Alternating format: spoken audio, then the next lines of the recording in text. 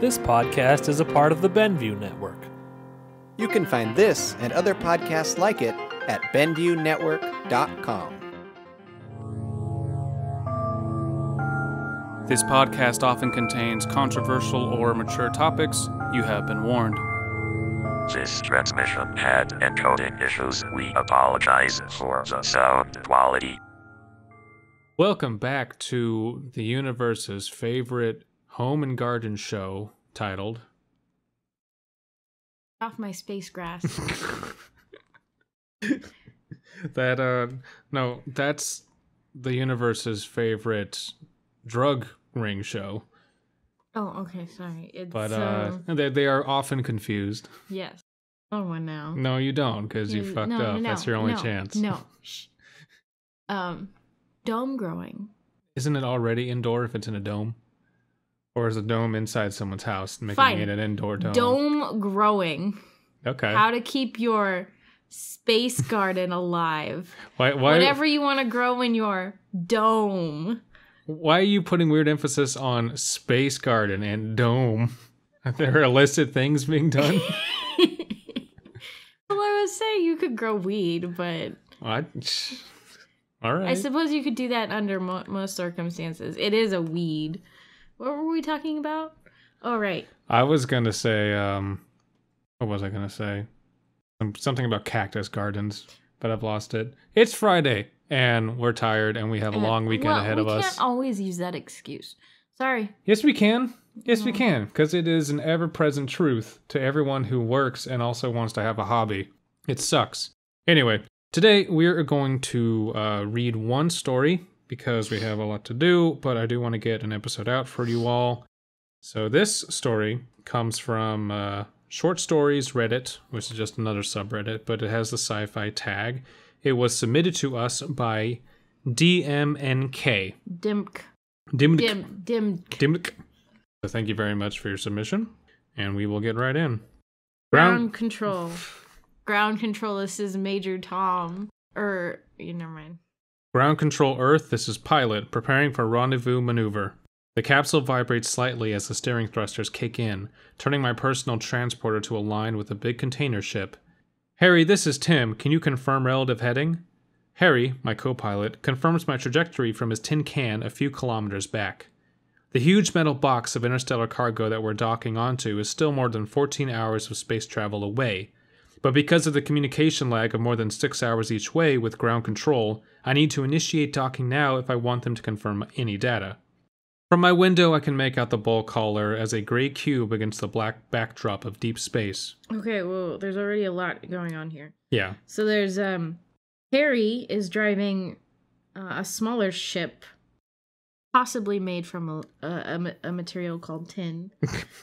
and I um believe that's a euphemism. and there's some sort of ship in front of them that they're docking with. Yeah, so he's some middleman between cargo and where they're docking. Like maybe he's kind of like a tugboat, I guess. They tug like bigger ships and bring them to dock to port. Maybe. I don't know. We should keep reading. Ground control, this is pilot reading relative speed to cargo vessel reading 0.27 meter per second. Please confirm. Any last instruction before docking maneuver? I'm calling Harry to confirm my speed as well to calibrate for any relativistic distortion caused by my caused by our high speed compared to Earth. I flip the communication back to the closed range loop for our small flotilla of personal transporters and advise our eight guests to start securing anything floating around in their small personal space for deceleration and the following docking maneuver. Each capsule has exactly two tries to successfully mate with the big mothership, which is our ticket out of the solar system. Hmm, oh, okay. okay. Yeah. Any more tries and the fuel reserves are too low for re entry on Gaia. If they miss, they go back to Earth on a very, very long trajectory, taking them double the time it took us to get as far outside of the solar system as we are now. So they have no fuel to dock, but I suppose that makes sense. They have no fuel to dock, but they do have fuel to return to Earth. So they're not completely screwed. Okay. Because, so, like, I'm sure thinking. that to dock, you need a lot more engines and jets than you probably do to um, Just go in a direction. Yeah. Okay. Imagine spending eight months on three quarters rations and reduced power settings alone in space. That's tough, even for career spacers such as Harry and me. Well, space travel is still about optimizing the mass to thrust ratio, even more so for faster than light travel, so no extra gram of life support was packed in. Can you explain mass to thrust ratio? Um, What do they mean by that? They mean oh, that's not.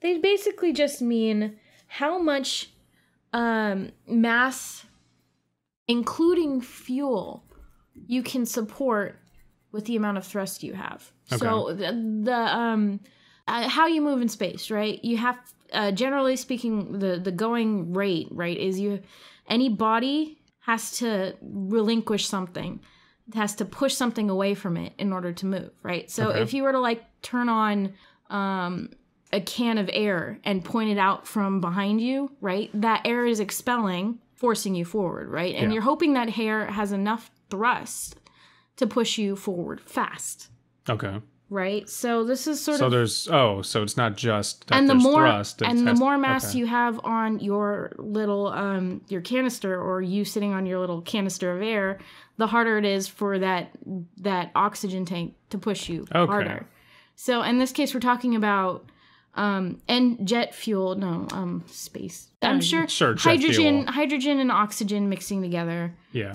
um, and creating combustion. And that has a similar property. It's it's going to push out the back. Well actually i don't know what they're going to say they're using for fuel in this story. Something with really high yield, I'm guessing. right. Yeah. but eh, you know even now they're talking about ion drives and that's the same sort of principle because you're push you're using um what the some uh, an ion drive sort of works by um, taking ionic compounds and flooding them with electrons that so that you push out or you change the forces and you push out the ions out the back right but it's the same principle of developing thrust by basically throwing something out of the back Okay. I can see that. right Interesting. so yeah. Okay. Uh, Tim, can we have a dry run through the procedure again before the real maneuver happens? One of our passengers asks over the ether in a nervous voice. I would not want to miss my chance to see Gaia, he adds with a chuckle. I guess it is normal to be nervous if you are leaving the solar system as a colonist for a faraway planet without chance of ever going back in your lifetime.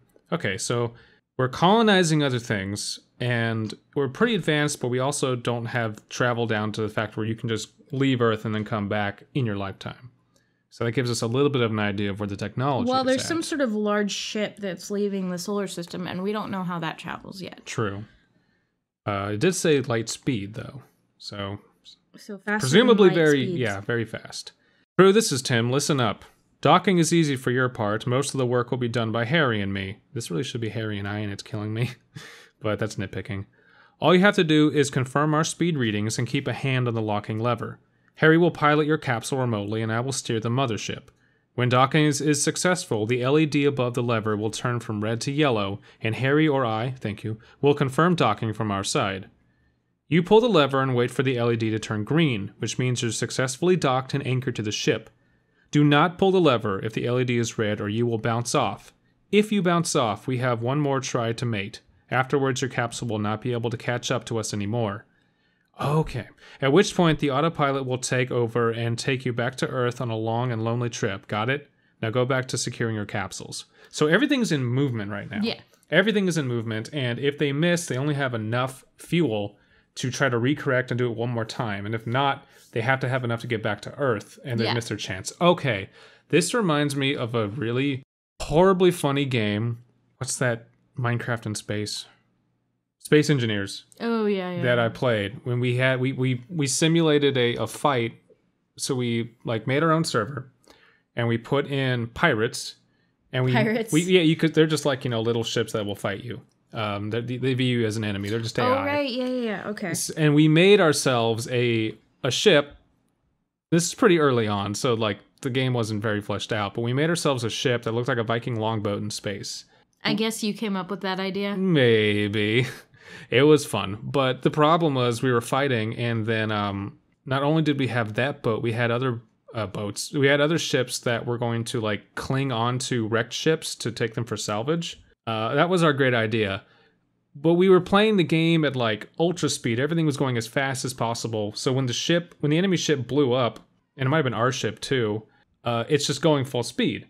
There's, the engines are dead. Everything's dead. You can't stop it. so it's flying through space at I forget how fast, and we're like trying to slow it down. We're trying to like repair it to the point where we can I stop think it. I remember this. and it's going in a flat spin, and we're laughing our asses off at this point because we can't, we don't know what to do, and it's like the, the perfect clusterfuck of how not to play space you engineers. were playing in God mode, yeah? yeah, we were. Which means, of course, unlimited fuel and Uh-huh. unlimited space. So they just kind of Uh-huh. kept Forever. going on. forever. If you know, if I wasn't, if, if it were real, I would have been terrified out of my mind because I was like, well, I'm dead. uh, anyway, sorry for that tangent. Now back to securing your capsules. That's where you were? Yes. With a metallic bang, the last of your passenger docks to the cargo hauler. Your? If they're kind of speaking second person. Oh, yeah, okay. Yeah, but it's sort of confusing with the dialogue as long as incon- technical as it is. It is. Um, there's a little bit of formatting issue here. The paragraph should be broken up a little bit. The dialogue should be separated. But otherwise, I'm having fun with this story. With a metallic bang, the last passenger of your. See? I know. See? Author, take notes. um, with a metallic bang, the last of your passenger docks to the big cargo hauler, which now looks a bit like a hedgehog with all the personal capsules hanging on its hull. Gotta colonize fast. Harry and me float out of our tin cans, which are now are making up the cockpit, to the star-shaped center room of the mothership, to which the capsules are docked. Hello, gentlemen and ladies. Welcome to the Aquarius. And now we're gonna get a big, uh, long explanation about the Aquarius works. That's that's my guess. Probably, yeah. Harry calls as one by one the, they drift out of their tin cans into the mothership. All of them were specialists in their field, selected for their skill and uh, and diversity in race, gender, per- and personality. We got an asshole. We got a shy person. We We- got a basic bitch. We got the sexy one. We got the sexy one. We got one. the smart one. We had the uh, the alt right supporter. he was very confused of what was going on. this ain't America. Where am I? Oh, Is Gaia gonna be New America? new. Oh my God. New America. I'm gonna do something with that. No one take that. OC don't steal. I'm gonna use that somewhere. That um. Whatever we do with it, we're not we're not broadcasting Well, that was anymore. my idea. I, that's why I said we. we. We. All right. They all got real skinny during the months of solitary confinement in their capsules. Muscle atrophy is a real thing in a near zero G environment, and the capsules don't allow for much more movement than some stretch. Why the hell? How long were they stuffed in here again? Um, maybe eight months back. Eight months, and he said that was double the journey. Maybe yeah. So, So four. four months, four months in a tiny ass capsule, by yourself. No, you Yeah. go, you go nuts. Yeah, yeah. There's you no, and we're not we're not talking much m- just muscle atrophy here. We're talking about all major fun- functions atrophying at that point. There are some missing details as to how and all into such a care of. detailed thing, like Yeah, I'd be really worried about that. That's the bit- top. Um, no, think about this: the top specialist and skilled peoples in their field in a tiny capsule alone for four months. Yeah, not gonna worry about their sanity or their. Um, I'm. I don't know if these capsules have internet, but I mean, do they do any? how are they gonna get a signal out in space? And do they have people to bounce ideas off of? I don't know. I mean, they probably. I mean, they're clearly in communication, but well, maybe they were cryo for most of it, and then they just woke up recently. uh, it doesn't say. It doesn't say that, but I have to wonder if that's a given. Because for most long, most stories that have long range space travel where it's not like super advanced, usually cryo's the default. And yeah, it's not stated. But then he describes the eight months as a long and lonely trip. I mean, True. you wouldn't On have a long and lonely trip in cryo. Well, it is lonely and cold. Sorry, what? Uh huh. Were you awake for it too, just like Sylvester Stallone? well, I was thinking of the new Chris Pratt movie, Oh, which looks bad. uh, you know what's funny is um somebody's gonna watch this in the future and go, "Which Chris, Chris Which Pratt?" Chris Pratt? this is this is 2030 now. He's probably had fifth, you know. Chris Pratt? Chris Pratt. Yeah. The actor. Yeah. There's been 1,500 Chris Pratts by 2030. I don't know if he becomes like one of these big Hollywood actors. I'm He's in sure. Guardians, Jurassic Park. Yeah, I think people are going to remember who he is for a while. Well, they're gonna remember who he is, but for which movie we're talking about is The my one point. with the shitty sci-fi action bullshit that they're going to Uh-huh. lob on us, centered around a stupid romance. really narrows it down. Good job. So whichever Chris Pratt movie comes out in the future. Whatever. it's going to be that one. Oh, you meant Chris Pratt movies. He just says Chris Pratt's. Is that what I said? Yes, that's Oh. why I was confused. you crazy whore. I'm Um, no, I'm still reading. but I just want to say, Arrival was really good. Watch Arrival if you haven't already. Oh, this isn't okay. At- atrophy is a real thing in near zero G environment, and the capsules don't allow m- for much more movement than some stretching. We've got roughly 72 hours for the last spin up to our kickoff speed for interstellar travel. Communication time lag. Earth is close to 7 hours each way, but it will be closer to 10 hours once we reach kickoff point. So if you want a last chat with Earth, um, contact ground control now. I could I could do that calculation and find out how far away they are. Maybe we will. Else you got nothing to do except to get comfortable. I know you've been stuck in a tin can and atrophying for four months, so get comfortable for the next three Just days. go back to sleep. That would be convenient. Uh, the kickback acceleration will be quite something, so try not to leave too much clutter drifting around until we're in jump space. You think everyone have, would have gotten that memo like way before this point? Like, well, there's no reason to say it again. well, it's been four months. I mean, they probably don't remember. They had uh, they are changing accelerate. They're accelerating all the time. Probably.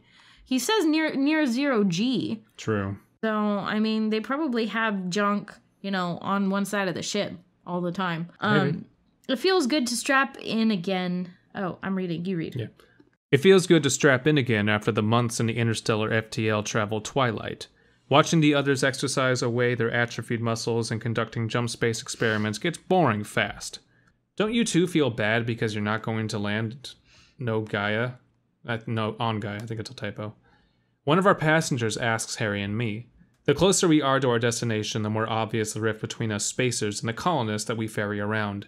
Gravity sucks. I prefer zero G, Harry answers with a smirk. Nothing like a smelly, cramped tin can to drift around in for months, he adds, only half joking. I hear the clicking of the others fastening their straps in their couches, while I run system checks on their capsules. Leaning back on my pilot chair, I can see all their anxious and excited faces beaming out of their capsules. The last leg of their one way journey will shortly start, and in a couple of weeks, they will finally breathe the unrecycled air of Gaia.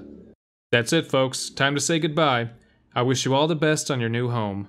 Some of them murmur thanks, others salute, and one of the girls actually blows me a kiss, which makes me smile. I'm tapping the controls and their capsule seal, but remain attached to our system for re entry into normal space. Okay, I'll read from here. Okay. Prepare for drop back. Hold on tight. Harry calls out and counts back the seconds to reentry. With a stomach turning lurch, the blackness of normal space engulfs us again. All systems show up green, and so I detach our passengers from the bulk carrier and their tin cans are individual spaceships, again for the planet fall on Gaia. Only seconds later, Harry detaches our two capsules and the FTL propulsion from the bulk of the mothership so we can swing back at full speed towards Earth again while the cargo slows down to land on the planet. What planet? Oh, they're Gaia. So he they're talking about the cargo as of the people as though they're cargo then. Yeah. Okay, that Yeah. makes sense. There's no other cargo present. Looking out of my window, I can see the cargo container and the colonists' tin cans. Or maybe they send cargo too. Um, They probably send cargo. I think the too. cargo, the, the tin cans have now attached to the cargo as one thing. I think that's what they're Yeah, but they're about to go away. The tin cans are Harry and Tim?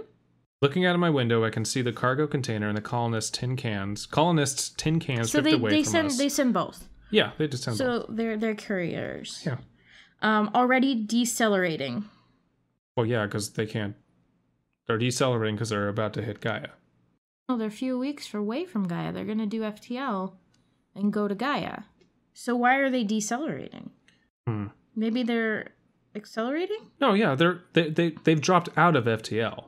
It, it was very short, but they hit FTL and then they stopped, No. and then it came out. I don't think that the Harry and Tim go into FTL. That's the point of the big ship. Only seconds later, Harry detaches our two capsules and the FTL propulsion from the bulk of the mothership so we can swing back at full speed towards Earth again while the oh. cargo slows down to land on the planet. Oh. Yeah. Okay, so the cargo lands. So they're already at Gaia? Yeah. Really, really faster than light travel. Oh, so was there a time change and they they they took them all the way to Gaia? Oh, okay. I think that they they docked with the big ship and they took them all the way to Gaia, Uh-huh. Yeah. and now they're on their way back. Yeah. Time passed. Yeah. That Time passed. That wasn't clear. I, I said it was really fast. Okay. So that could have been better explained, I think. But okay. sure. Time to hail the colony and commerce mutual data transfer while we're in system. Aquarius, this is Ground Control Gaia. Good to have you here. Please switch to video feed and record what we have to transmit. We got news that Earth needs to see. Glancing at Harry, I see his apprehension in his face. That is unusual, but we comply without acknowledgement as we are still on a communication lag of more than 10 hours. The first few seconds of the video feed are static and it resolves into a grainy picture of a bearded man and a skinny woman with dreadlocks. Sounds like the album art for a Die Antwoord release. Really? No. Kind it of. sounds more like um, Mumford and Sons or Oh, God. some sort of experimental band. These are not the usual commanders of Gaia, we we realize. Harry and me lean closer to the screen in concentration. There is an odd blaring background noise on the voice line. Aquarius, I hope you are recording. There are exciting news. The bearded man starts. I sign Harry to cut that noise out, but he shrugs and motions that he cannot do anything. A lot has happened in the last year. Not sure if accident is the right word for something like this. The woman tells us with a bright smile while the man disappears out of the image. It was to be expected at one point, but it all came really as a surprise. She continues, and the noise suddenly stops as the man appears back on the screen cradling something. Meet Eve, the first extraterrestrial, he tells and reveals the face of a rosy baby. Now we're truly colonizing the stars. That's not what I was expecting. No. That's pretty cool. Yeah, so um, this is like the second round of colonists, and the first ones have successfully reproduced, Or at least one. or at least one of them have. One alien baby. Got busy. Barely looks even human. Yeah, no, interesting. That's not what I was expecting. I was neither. expecting them to say like We are the new conquerors. we Turn your ships around. New America will rise. oh, pretty much, yeah. that was good. Um, A man in dreadlocks saying, I- "I'm actually the second coming of Jesus, and I'm leading I'm this." Space Jesus. and I'm leading. This is. It turns out this is the real Israel, or real Jerusalem. Uh, what was it in Riddick? Um, they had a uh, uh, what's what's the Muslim cleric? He used to know. Well, he he and his followers were going to New Mecca. Um, I thought I thought it was a really nice touch. I always Yeah. liked that about that Riddick story. That was really cool. Um, help you, cat. Our cat wants love. Our cat is swishing the, The fact filter. that we've been really busy um means that our kitty doesn't get love. Uh, sorry, getting sidetracked. And we, we only did one story today, but damn, did we have tangents. I want to get the That was cons. I'm gonna get the cons out of the way first because there's only a few. The, some confusing, um, not just spelling errors, but confusingly placed spelling errors. It feels like this is a first draft, yeah. or at least a rough no, draft. it doesn't feel like a first draft. It feels like a couple drafts away, and he just needs some more revisions. Yeah, there's a couple typos, some grammar stuff, and the blocking is just too big. The blocking's too big, and there are some weird um, segues that don't Yeah. like time isn't clearly passing sometimes, or um, and you know a, a dense story like this, just reading it on the fly, you miss things. Yeah, So Going into a blind, you know, sure. mm, take some of that. Take what we're saying with a grain of salt. Oh, sure. This is, I mean, this is a blind reading, so, you know, yeah. Other than that, I liked the story. It was, it bothered to put some physics in there and kind of just Yeah. into the little bit of the science of that, which I really appreciated. It didn't dwell on characters too much, but you got a good image of who was yeah, who. but even like some of the, the the the technical stuff they put in is like interesting and selective. So, yeah, um, what do they use for propulsion? It's still not clear. it wasn't Um, said, but then yeah. again, it's the future, and what could it be? It could be anything. super ion drives. Yeah. um, and um, the idea of sticking people in tiny uh, sh- shells for a long amount of time doesn't make a whole lot of sense to me, as well as the fact that they True. drove tin cans Wait, let me let me read that again. Let They're me- just calling. They're small capsules. They just call them. no, but they drove them out to the middle of nowhere to turn on another ship. Yeah, it was a staging area that they took them to. Right, but I want to I want to know how long it. It says um it took 8 months for them to get back. And that's our only clue here. One second. I think we're right about the four months. Why the hell would you have it that far away though? It doesn't Now- have to be that far away. Yeah, it could have just been in orbit That's that's one question I around Earth. Yeah, definitely Well, a little bit of you know, holes maybe here. not in orbit around Earth if it's something like su- if if FTL is super dangerous, if it has to like create a singularity or something. Well, and that's another thing. You know, do you have the route mapped out? Do you know exactly what your star charts say? Where you're where you're going to end up? You don't want to end do up. what do you mean? Well, like you know, you you hit FTL and then you drop out. How do you know you're not about to hit an asteroid or a moon or something? Like uh, and that's no moon. that's no. Um, It's a kitty cat, isn't it? Not going to talk to me. Anyway, yeah. So there's there are little a lot of little details that are left out. This is a short story, and these formats are supposed to be pretty short. But I think with a little bit of tweaking, just a little bit put in there, it could be fleshed out fine. But other than that, I enjoyed this story. It was very fun, and it wasn't all doom and gloom, but it was exciting yeah, without it was, without it was so much happening. Lovely, it was a lovely little short story, and uh, Yeah. you know, the, I I'm all for the technical stuff. That's really cool, but Mm-hmm. characters are cool too, especially since you have so many passengers. This is this, this is another one I would like to have seen as a, a short serial, um, may- maybe like five parts, and then we get to know maybe some of the specialists as they're on their journey. Um, that would have been that you know, I'm not saying the author has to do this, but that would have been cool, uh, just as a suggestion. And yeah, I like uh, the idea of describing stuff with um, colloquialisms, Yeah, but um, overall, some some Im- imagery is nice too. it's hard to it's hard to have imagery. Well, no, yeah, it's difficult to have imagery, and it can be done. But we are in the black of space with metal, and that's it. And for all I know, they're driving around um, Pepsi cans. True. Trademark. True. A Copyright. little bit of description of what all the ships look like, a bit more would have been good. Uh, But other than that, very solid. Very solid story. I like it. and surprising twist, double twist at the end. Double twist. Here on KRQ, the biz. um, yeah. Thank you, DMNK, for that submission. That was great. If you have any others, please let me know. Um, He submitted it, yeah. so he wanted us to read it. He wanted us to read this? Aw. Yeah, I said that in the beginning, where you clearly weren't listening to me. Nope, I don't. Why would you? I don't listen. Well, thank you everybody for tuning in. Um, how long have we been going for? That's about 33 minutes. Yeah, it's a short episode. Wow. Well, it's not that short considering that we only read one story. Yeah, it provoked good discussion. So thank you very Good much, and uh, stay tuned for these messages. I'm Jordan, and this is Nerd's Eye View. Who do I have with me? I'm Andrew. I'm Tom. And what do we do here, Andrew? Well, we talk about movies. Every week we always talk about something that's new in theaters, as well as tell you what's going on with the box office top 10 and what's coming out on DVD and Blu ray. And then we do a crazy thing called Guess the Ending, which Andrew has a wonderful catchphrase for, but it mainly involves us coming up with crazy stories for all the new movies that are coming out. So if any of that sounds good to you, find us online, nevpodcast.com, or on Twitter, at nevpodcast, or benviewnetwork.com. What was I supposed to say?